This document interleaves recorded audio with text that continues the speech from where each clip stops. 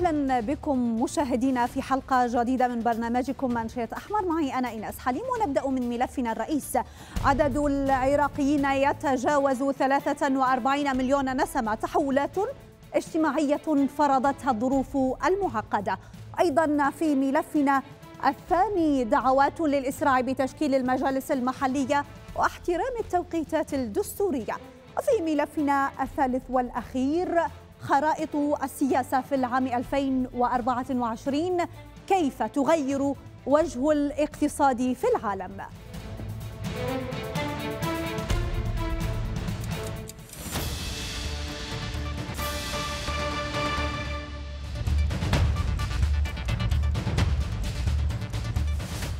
أكثر من 43 مليون نسمة هذا عدد العراقيين وفق آخر البيانات المعلنة من وزارة التخطيط لكن الأمر لا يتعلق بزيادة عدد السكان وإنما يرتبط بمدى توفر الحياة الكريمة لهؤلاء المواطنين في بلد عانى الحروب والكوارث والاضطرابات. تشير الأرقام إلى تشكيلة متنوعة من الفئات العمرية المختلفة التي يضمها العراق حيث حازت نسبة السكان بعمر أقل من 15 سنة على 41% من مجموع السكان وهو تحد كبير أمام السلطات التي ينتظر منها أن تقدم الكثير من الخدمات على مستوى التعليم والصحة وتوفير البنى التحتية وغير ذلك. يضاف إلى ذلك التحولات التي كشفتها الأرقام ومنها انحسار نسب سكان الأرياف إلى أكثر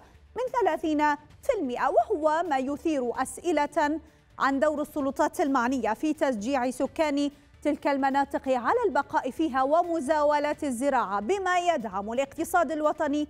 نتابع هذا التقرير ثم نعود. تشير الأرقام الصادرة من وزارة التخطيط إلى أن عدد سكان العراق في نهاية العام الماضي قدر ب 43 مليون و324 ألف نسمة.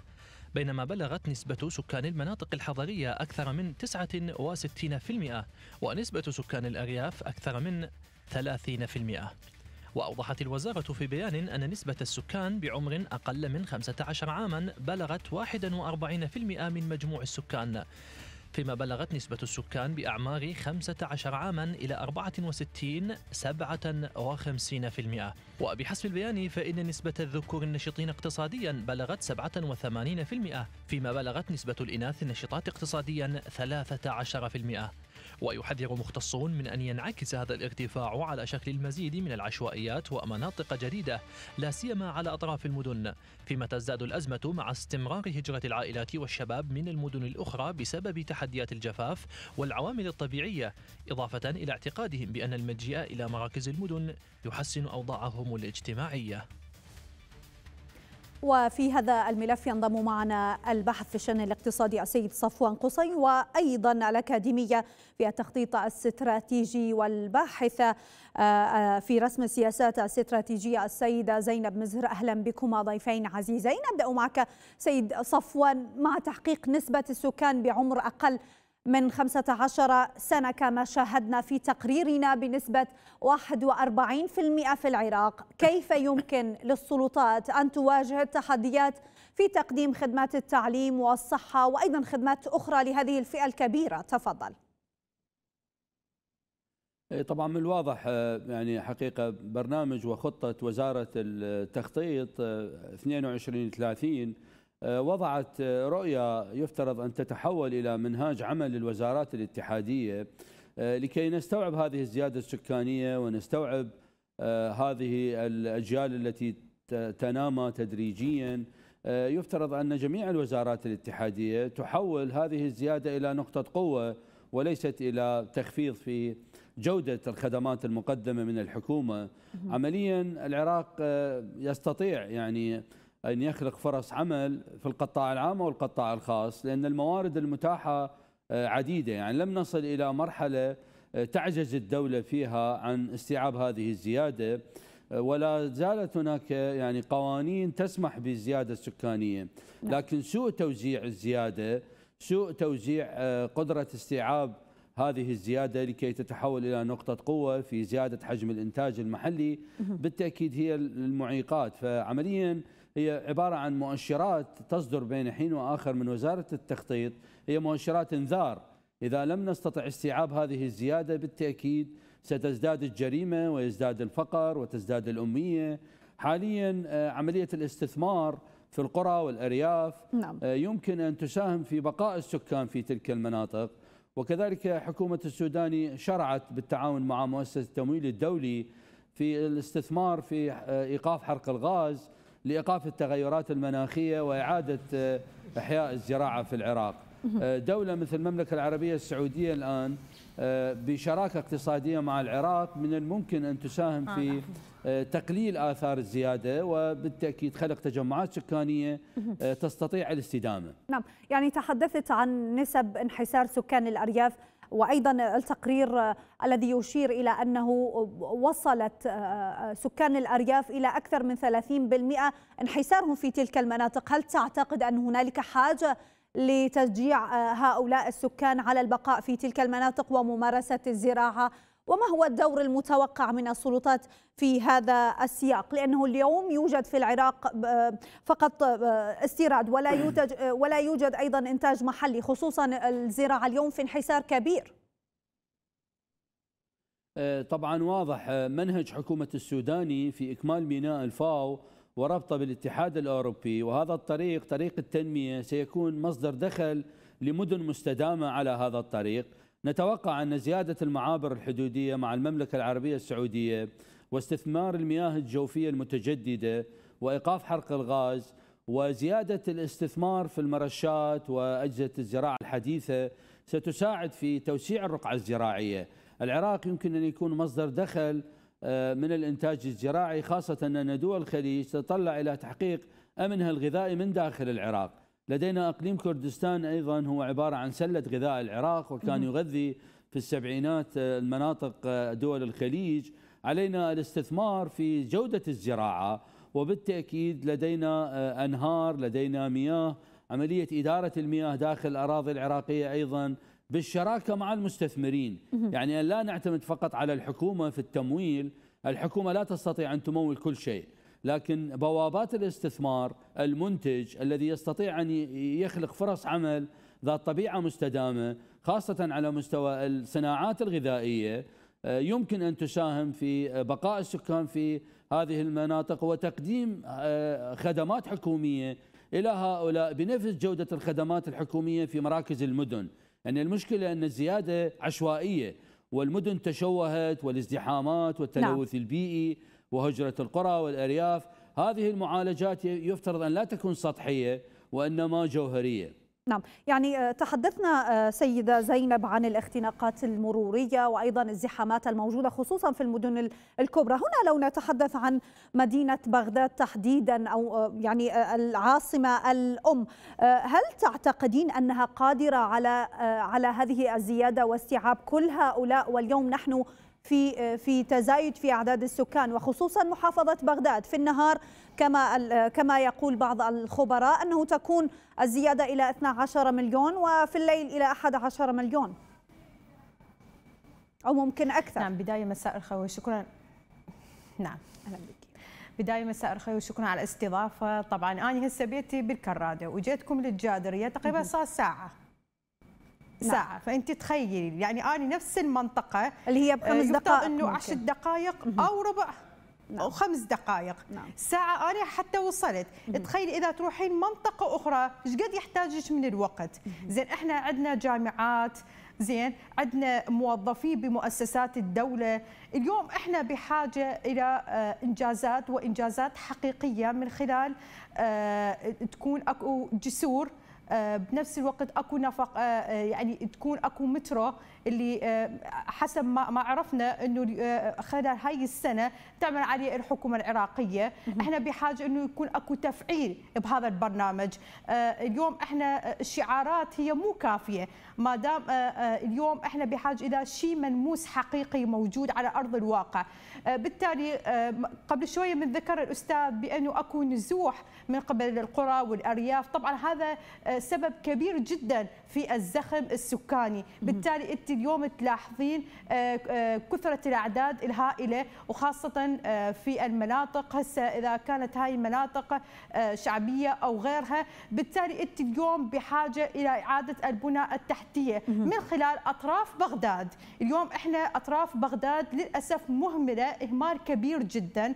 يعني عندنا مساحات واسعة بإمكانها الحكومة إنه تعمل عليها من خلال آه، إنه تكون أكو مدارس تكون أكو مؤسسات تابعة آه، للموظفين إنه تكون أكو مديريات قريبة عليها عليها العفو بالتالي أنت اليوم راح يقل هذا الزخم السكاني. لأن أنت اليوم آه، عندك هواية من الناس تجي من مناطق بعيدة طيب سيدة زينب يعني كيف تعاد؟ نعم كيف نعم. تعاد هيكلة الخطط الاستراتيجية للحكومه للحصول على احتياجات الكثافة السكانية اليوم في العراق؟ نعم. آه، آه، آه، برسم السياسة العامة للدولة وخلال هاي الفترة بالتحديد وإحنا تقريبا عندنا موازنة ثلاث سنوات. نعم. بإمكان الحكومة أن تعمل على مشاريع استثمارية خلال هاي الثلاث سنوات. وقلت لك استثمار الأطراف اللي هي كلش مهمة واللي هي مه يعني مهملة. يعني خلال هاي السنوات السابقة. بالتالي اليوم آه، آه، إتاحة الفرصة للمستثمرين ويكون أكو كونكت تعاون مع مؤسسات الدولة ومع القطاع الخاص. أكيد اليوم رح إحنا رح تكون عندنا برامج. هاي البرامج تكون منوعة. هسه برنامج يكون آه، سكني يكون صحي يكون تعليمي. مركز على فقط اليوم السكن. لأن أنت اليوم عندك هواية من القطاعات إحنا بحاجة بحاجه لها يعني القطاع الصحي التعليمي اليوم هاي هاي فتح المساحة لأطراف بغداد. نعم. رح تساعد العاصمة بغداد على إنه يقل هذا الزخم السكاني. وبالتالي عندك أنت الخطط اللي تعمل عليها الحكومة من خلال انشاء آه، هاي الجسور آه، بنفس الوقت إنه تكون أكو أكو سيستم أوقات خاصة. هسه مثلا الجامعات لها أوقات المؤسسات الحكومية لها أوقات. بالتالي اليوم أنت على الأقل فترة معينة حتى يقل هذا الزخم نعم. ولو خلال هاي الفترة الحالية. نعم سيد صفوان يعني السيدة زينب تحدثت فيما يتعلق بالبنى التحتية لكن كيف يمكن للحكومة العراقية مواجهة التحديات الاقتصادية والاجتماعية الناجمة عن التغيرات في توزيع السكان وتركيبتهم العمرية؟ يعني واضح الحقيقة. للأسف يعني لغاية الآن جميع الحكومات المتعاقبة لا تزال تفكر بأنها فقط هي المسؤولة عن تقديم الخدمات. إشراك القطاع الخاص في الاستثمار في الخدمات آه، يمكن أن يساهم في تحسين جودة الخدمة. بالتأكيد عدد زيادة عدد السكان آه، تنمو بمعدل 3% سنويا يعني أكثر من مليون عراقي. يعني حاليا بمعدل 2700 شخص يولد في كل يوم. فهذا العدد لا يمكن أن يستوعب إلا من خلال الاستثمار من قبل القطاع الخاص في تقديم الخدمة. يعني لا أعلم لماذا لا يتم إشراك مثلا القطاع الخاص في استثمار في إنشاء طرق إنشاء مجسرات مقابل كلفة يدفعها الشخص الذي يقتني هذه الخدمة وبالتأكيد هي لن تكون كلفة عالية لأن هذه الخدمات استراتيجية. لكن أن تكون الحكومة بعقلية أنها تمتلك كل شيء فوق سطح الأرض وتحت سطح الأرض. بالتأكيد هذا لا ينمي قدرة القطاع الخاص. نحتاج إلى تطوير المدن يعني مثلا أشارت الست زينب إلى الجامعات العراقية. الجامعات العراقية هناك ماركات في هذه الجامعات. مثلا لدينا جامعة بغداد. نعم. هي محصورة فقط لسكان بغداد. لو كانت لدينا إمكانية في فتح جامعة بغداد في البصرة وجامعة البصرة في الديوانية وهكذا. لخلقنا نوع من التقليل على الطلب على الانتقال من المحافظات إلى العاصمة. وجودة التعليم يفترض أن تكون بنفس المعايير. يعني أن لا تكون هناك يعني محافظات تمتلك خدمات أعلى أو تعليم أعلى أو طرق. لدينا محافظات يمكن أن تساهم في فك الاختناقات. لدينا مثلا نينوى آه، لدينا الأنبار آه، لدينا أيضا المثنى آه، عدد سكان هذه المحافظات والمساحات المتوفرة والموارد مؤهلة لاستيعاب الزيادة السكانية. نعم. وأيضا عملية تحديد قيود. يعني لا يمكن أن تبقى بغداد تنمو بدون أن يكون لدينا خطة في إيجاد فرص عمل دائمية لهؤلاء. قطاع الخدمات نعم هو منتج لكن علينا الاستثمار في الإنتاج الصناعي الزراعي آه، السيليكا الفوسفات الكبريت الاسمنت آه، هذه الموارد الموقع الجغرافي هذه الموارد يمكن أن تخلق فرص عمل دائمية. وأيضا الاستثمار في المعرفة للشباب. لدينا كما أشرتم 41% دون ال 15 سنة. فنحن أمام مشاكل إذا لم يتم التنبؤ بحلول آه، من هذا التوقيت. والوزارات مطالبة والقطاع الخاص مطالب. نعم. في النمو لكي نستوعب هذه الزيادة. وبالتأكيد القدرة التنافسية للاقتصاد العراقي تنمو من خلال تخفيض التكاليف وزيادة حجم الإنتاج. نعم بعد بعد خمس سنوات سيدة زينب سيكون أعمارهم آه، عشرين سنة تقريبا لكن كيف آه، تجدين آه، القطاع الخاص تحدث السيد صفوان أنه لا يتم إشراك القطاع الخاص وممكن عند إشراك القطاع الخاص يكون هنالك تقليل للبطالة بين الشباب وهنالك ممكن يكون إنتاج أكبر للمواطن العراقي لماذا يكون فقط استيراد من الخارج؟ نعم آه، السياسة العامة للدولة آه، إلى الآن ما وصلت لمرحلة القناعة بالمنتج المحلي. إلى الآن عندنا آه، كثير من الخبراء الاقتصاد ما تم الاستعانة بهم بهم عفو ما تم الاستعانة بهم حول هذا الملف. يعني إحنا للأسف إيش قد اليوم هسه الأستاذ ذكر يعني أنا حتى الصفحة الخاصة على الفيس أنا متابعة لها يذكرون أكثر من من مجالات منها هو القطاع الخاص اللي يفترض إنه يكون أكو كونكت بينه وبين مؤسسات الدولة وبنفس الوقت إنه يكون عندكم أكو برامج خاصة لهذا الملف بالتحديد. ما إحنا عندنا وزارة الصناعة اللي هي أهم الوزارات اللي للأسف كثير من المصانع اللي موجودة حاليا غير منتجة. وليست ضمن المستوى والمعايير الدولية. بالتالي إحنا عندنا كفاءات آه، من الشباب عندنا خريجين آه، كثيرين. هسه إذا إذا آه، جامعات أهلية وإذا حكومية. ما إحنا اليوم ليش ما نستعين بهاي الطاقات؟ ما نعمل عليها ضمن برامج تدريبية وأنشطة تعمل عليها القطاع الخاص. إحنا مشكلتنا حتى بالقطاع الخاص. ما يستثمر اليوم الشاب العراقي من ناحية إنه آه، عنده خبرة لحتى يقدر يعمل ضمن آه، آه، هاي البيئة. لا أنا اليوم بإمكاني إنه أشتغل على برنامج تدريبي وأدرب هذا الشاب. هسه على بعض من المجالات مو شرط إنه يكون هو تخصصه العلمي هندسة. ممكن عنده موهبة عنده قدرة إنه يعمل بالإدارة بالمحاسبة أو مجالات أخرى. الكثير اليوم الكثير اليوم لا يعملون الموضوع. نعم الكثير اليوم لا يعملون بشهاداتهم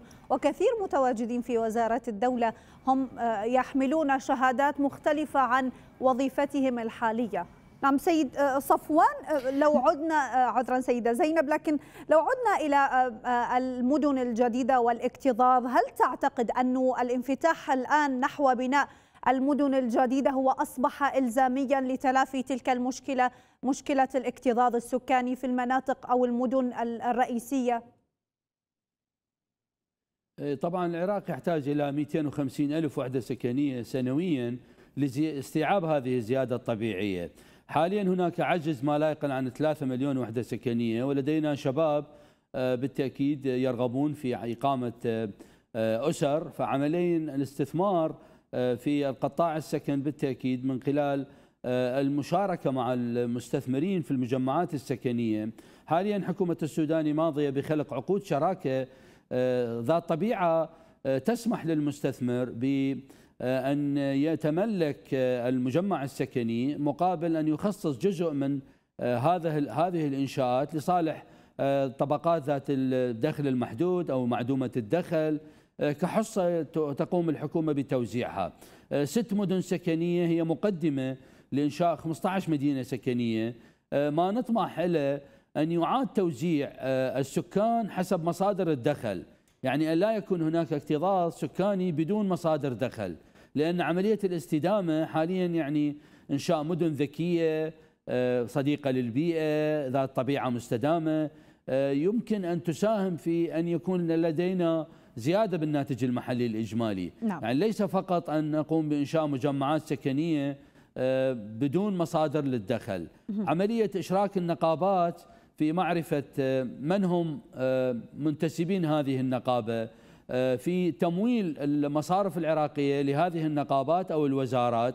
طبعا الوزارات تمتلك أموال لكنها يبدو أنها غير معنية في حل هذه الأزمة. لا توجد شراكة حقيقية بين خطة وزارة التخطيط وبين الأموال المتوفرة في الوزارات لو قامت كل وزارة بإنشاء تجمع سكاني لمنتسبيها ورسملت آه، نعم. الشقق السكنية أو البيوت على نعم. رواتب نعم. المنتسبين لفكينا الاختناق وكذلك النقابات وكذلك حتى القطاع الخاص يفترض أن يهتم بهذا الجانب لإدامة العلاقة مع الموارد البشرية. نعم الباحث في الشأن الاقتصادي السيد صفوان قصي وأيضا الأكاديمية في التخطيط الاستراتيجي والباحثة في رسم السياسات الاستراتيجية السيدة زينب مزهر. كنتما معي. شكرا جزيلا لكم.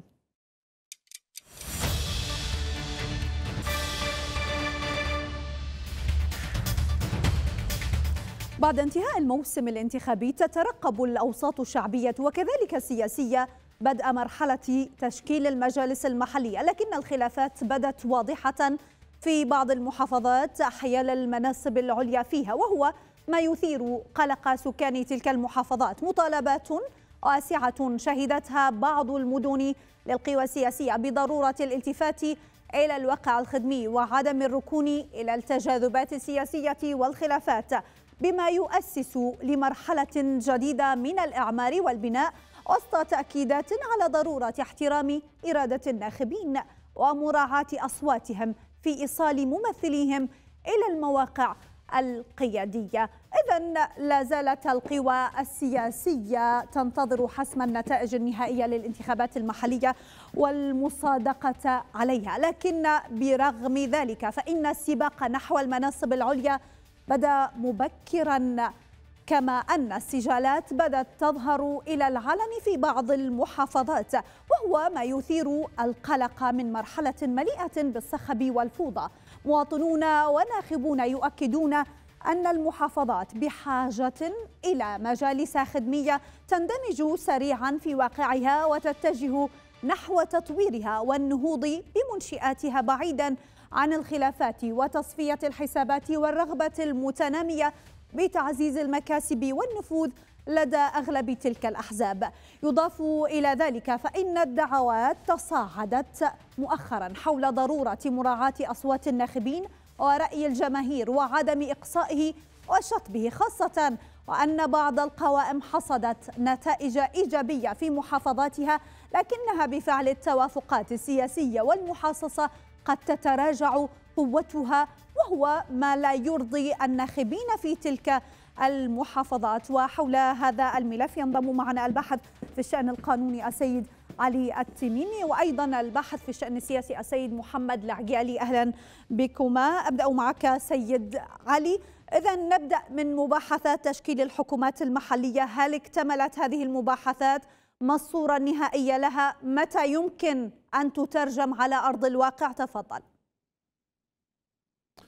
نعم أحييك أستاذة وضيفك الكريم والسادة المشاهدين. طبعا بالتأكيد بعد أن تنتهي الهيئة القضائية الثلاثية آه، من كافة آه، الطعون آه، سيقوم مجلس المفوضية بالمصادقة على الأسماء أسماء الفائزين جميعا في مجالس المحافظات وبالتأكيد هذه هذه المصادقة تكون خلال 15 يوم.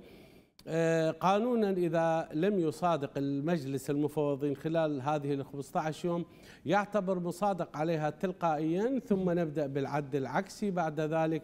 آه، كما يتحدث القانون 21 سنه 2008 قانون مجالس المحافظات حيث يدعو المحافظ الحالي في كل محافظة المجلس الجديد خلال 15 يوم من تاريخ هذه المصادقة ويتم في الجلسة الأولى انتخاب رئيس المجلس ونائبيه بالأغلبية المطلقة لعدد أعضاء المجلس. ثم بعد ذلك نكون أمام فترة 30 يوم يتم فيها انتخاب المحافظ آه، من بين المرشحين سواء كان المرشح من خارج المجلس أو من داخل المجلس بشرط آه، توفر الشروط القانونية في هذا المرشح والمحافظ أيضا يتم انتخابه بالأغلبية المطلقة لعدد الأعضاء في الجولة الأولى. إذا لم يحصل أي من المرشحين على هذا العدد كما تقول المادة سبعة من هذا القانون قانون مجالس المحافظات نكون أمام جولة ثانية بين أعلى الاثنين أعلى الاثنين المرشحين نعم. اللي حصلوا على الأصوات. الذي يحصل على أكثرية الأصوات يكون هو المحافظ.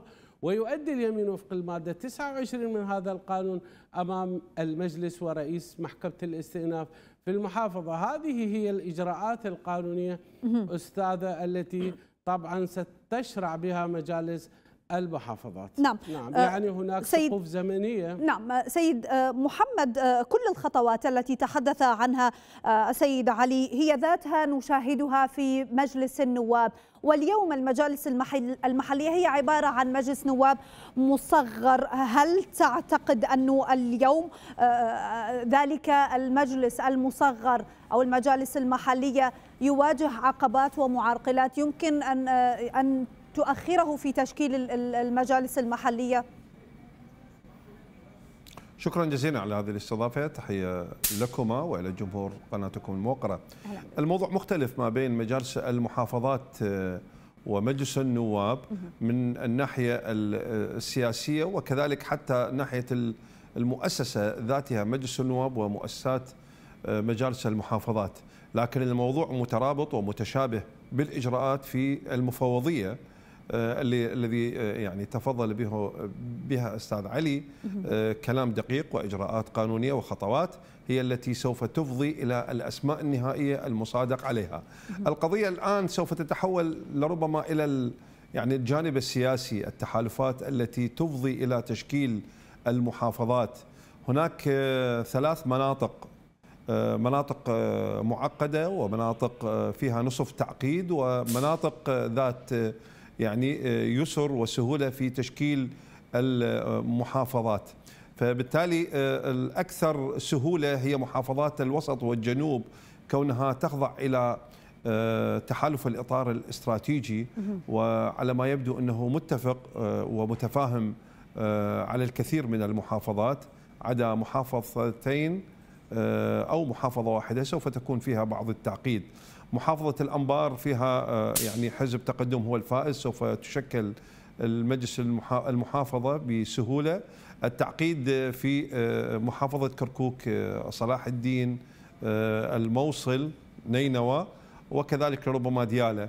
هذه المناطق الثلاث لربما سوف تكون هناك إدارة مشتركة آه، مثل إدارة تحالف الدولة تحالف إدارة الدولة لربما يعاد صياغة هذه التحالف حتى تتم التفاهمات بشكلها العام لكن في تفاصيلها الدقيقة من حيث الأرقام من حيث المقاعد من حيث تقسيم اللجان داخل كل مجلس محافظة هناك تفصيلات أخرى لكن نعم. بصورة عامة لا أعتقد في تعقيدات كبيرة ولا أعتقد في تأخير بتشكيل المحافظات وأعتقد حتى الأسماء مهيئة للمحافظين ولربما حتى بعض المحافظات هي يعني تم التفاهم عليها بطريقة يعني التوافق. آه، هذه المحافظة للكتلة سين والمحافظة الثانية آه، لكتلة صاد حسب يعني الاستحقاق الانتخابي حسب استحقاق المقاعد نعم. حسب الاتفاق الذي سوف يكون وأعتقد الأطار التنسيقي سوف يعني لم يعمد على آه، إزعاج آه، طرف في الإطار التنسيقي على حساب الأطراف الأخرى لأن التحديات السياسية أمام الإطار الاستراتيجي كبرى آه، من داخل ذات المساحة وحتى من باقي المساحات السياسية فلا أعتقد سوف يجازف لا أعتقد سوف يراهن كثيرا على آه، يعني الخلافات آه، باعتقادي هو سوف تكون هناك حالة اليسر في التشكيل للمحافظات المقبلة. نعم سيد علي يعني بعد أن أعلنت المحكمة الاتحادية بأنها غير مختصة في المصادقة على نتائج الانتخابات، لكن من سيعلن تلك النتائج؟ من سيصادق على تلك النتائج النهائية للانتخابات؟ وهذا هو موضوع مهم جدا. المحكمة الاتحادية ليس في ضمن اختصاصاتها الواردة بالمادة 93 من الدستور المصادقة على النتائج النهائية لانتخابات مجالس المحافظات وإنما هي أي المحكمة الاتحادية تصادق على النتائج النيابية النهائية البرلمانية. لكن لو رجعنا إلى القانون القانون الخاص اللي هو قانون مفوضية الانتخابات رقم 31 لعام 2019 تحديدا آه، بالمادة 10 فقرة سابعة نصت بشكل صريح على أنه الذي يصادق على النتائج النهائية للانتخابات هو مجلس المفوضين نعم. مجلس المفوضية هي هذه صلاحيته بعد البت في الطعون بودي أستاذة أيضا أن أشير إلى أنه هناك يشاع إلى أنه المحافظ الذي حصل على أعلى الأصوات في الانتخابات هو يكون محافظ.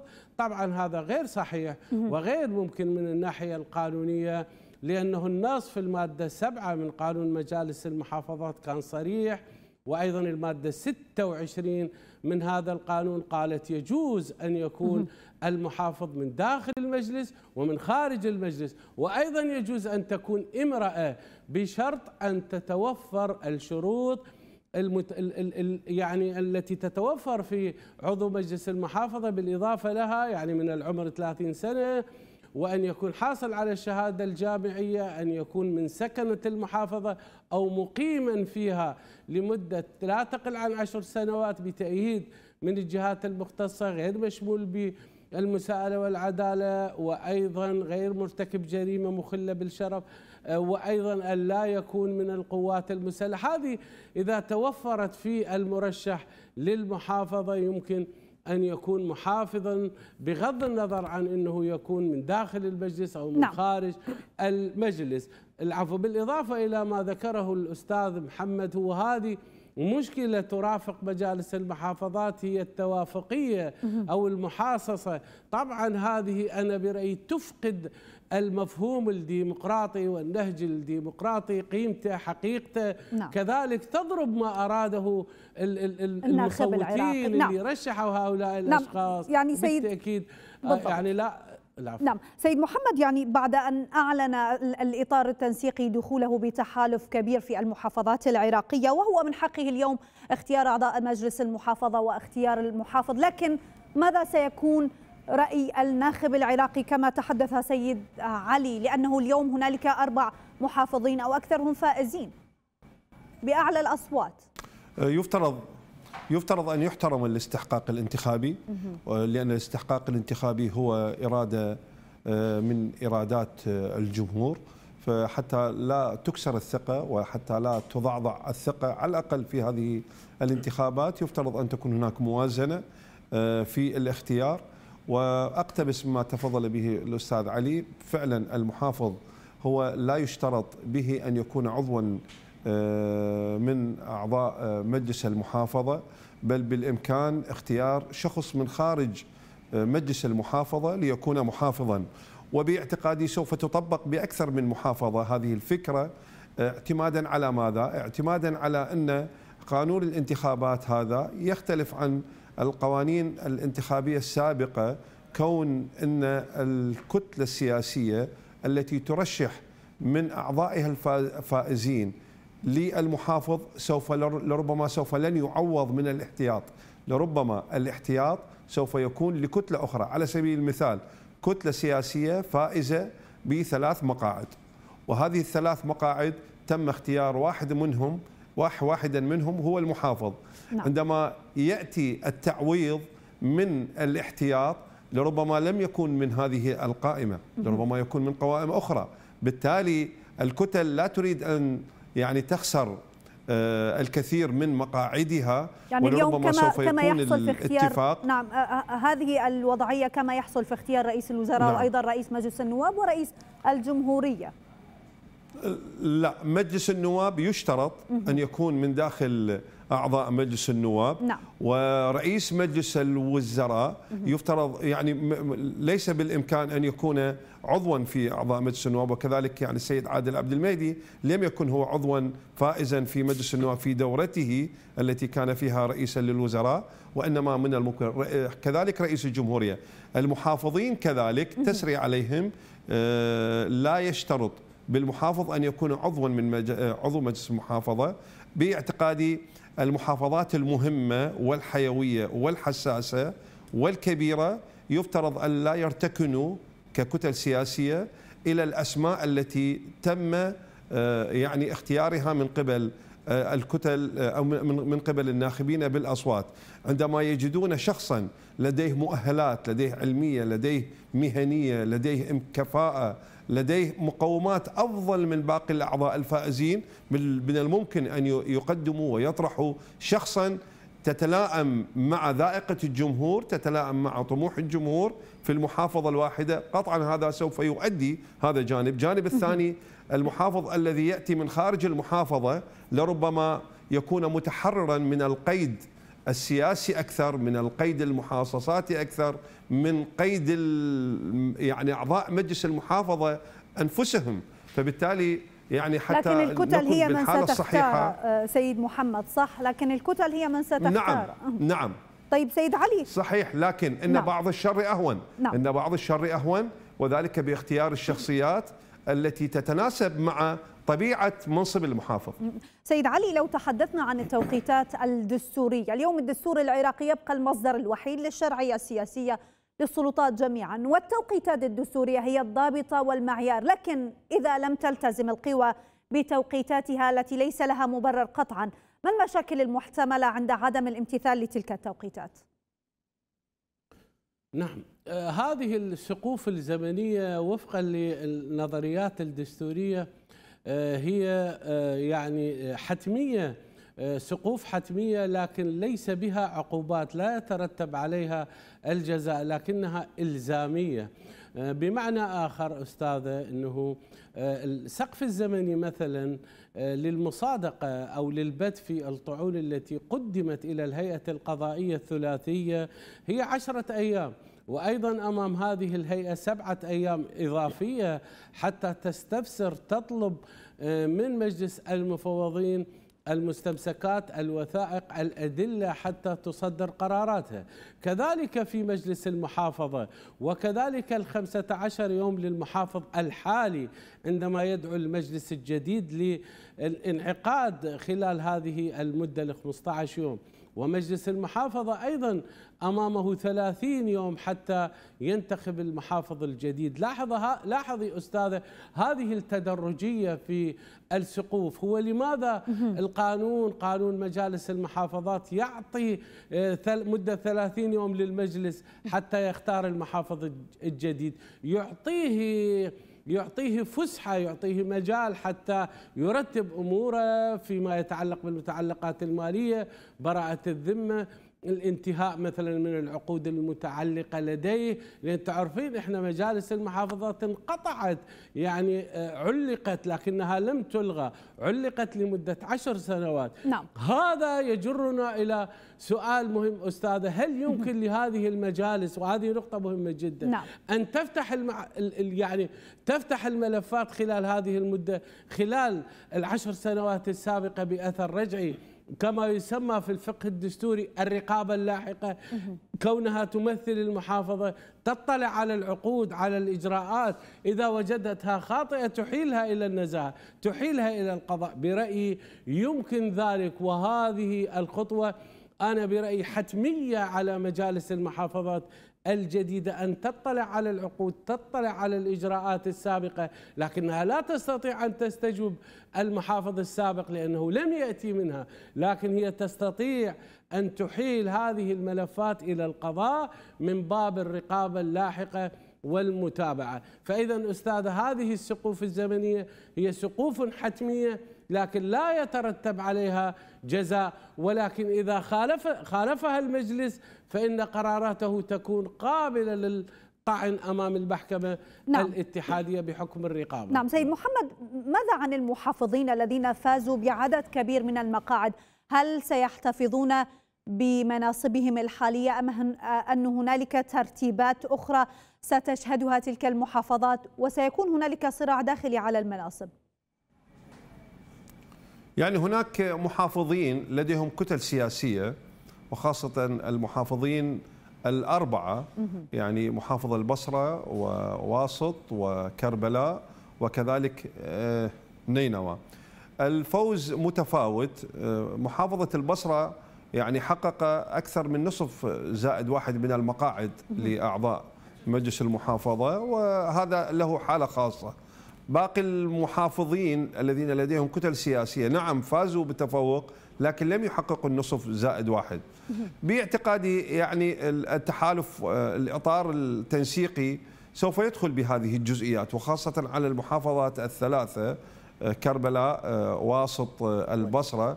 باعتقادي سوف يتغير محافظ واحد أو محافظين لكن ليس بالثلاث هم سوف يتغيرون. نعم. وتخضع هذه إلى المزاج السياسي داخل الإطار التنسيقي مدى قناعته ومدى يعني القناعة التي يقتنع بها الإطار التنسيقي بمشروع المحافظ كل محافظ نعم. يفترض أن يقدم يعني رؤيته يقدم برنامجه يعني المقبل لإدارة المحافظة هذا المحافظ أو ذاك المحافظ يفترض أن تكون لديه المهارة تكون لديه القدرة على إقناع التحالف آه، الإطار التنسيقي نعم. بأن يكون لديه الاختيار على ضوء ضوء الرؤية ضوء الآليات ضوء الأهداف التي سوف آه، يريد آه، التي يريد أن يحققها هذا المحافظ ورؤيته يعني الخدمية نعم. إلى المحافظة ما نعم هي الأولويات ما هي التوقيتات للأولويات باعتقادي سوف تكون هذه المعايير لاختيار المحافظين. نعم الباحث في الشأن السياسي السيد محمد العقالي وأيضا الباحث في الشأن القانوني السيد علي التميمي كنتما معي. شكرا جزيلا لكما.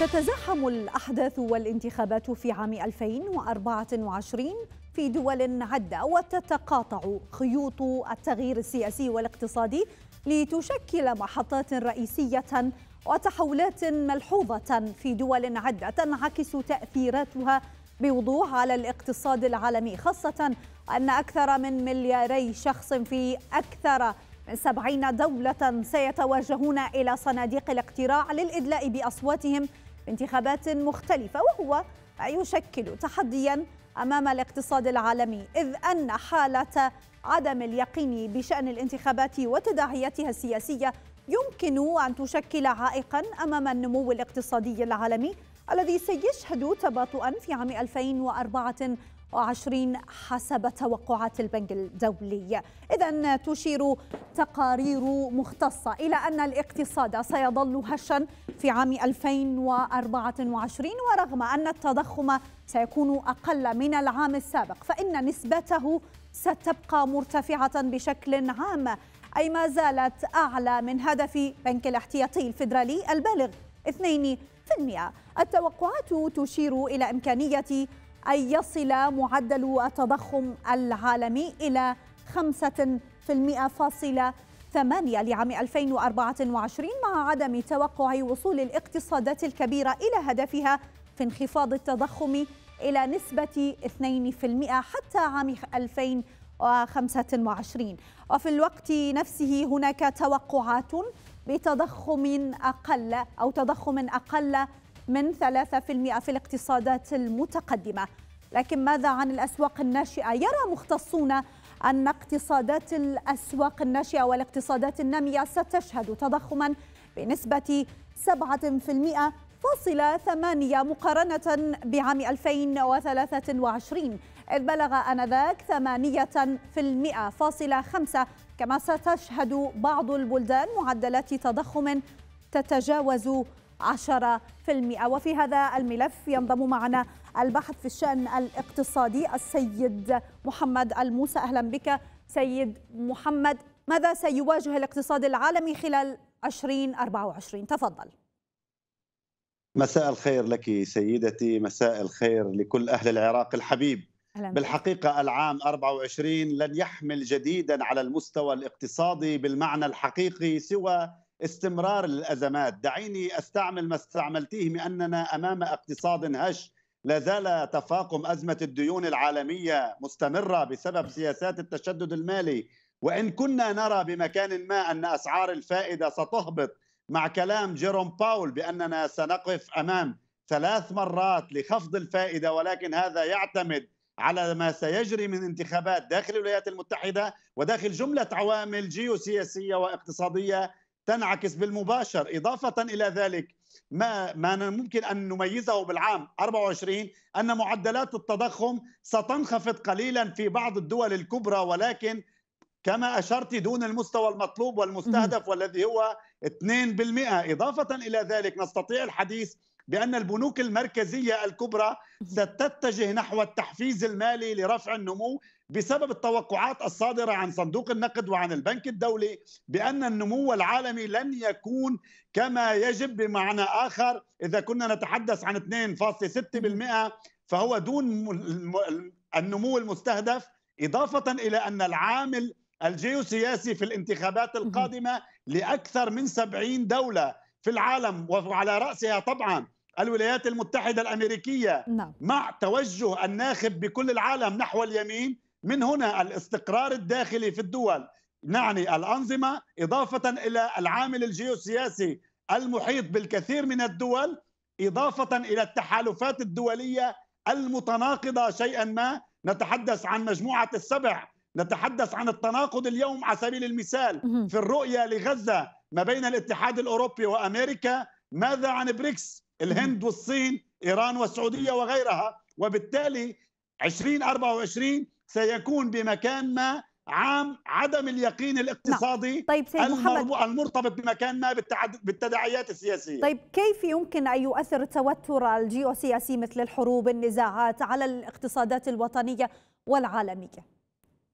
بكل بساطة نحن نتحدث اليوم أمام طريقين كبريين في العالم ثم سأنزل إلى المستوى الوطني. إذا تحدثنا عن طريق البهارات الهندي الذي تريده الولايات المتحدة بمواجهة الصين طريق الحزام والطريق وبالتالي على المستوى العالمي هذه الطرق تمر على سبيل المثال في غزة. أين الدور المصري؟ أين الدور العراقي أين دول الشرق الأوسط من ذلك؟ أين دول جنوب شرق آسيا؟ إضافة إلى دول القوقاز على سبيل المثال. هذا يبعث على القلق تجاه هذه الدول.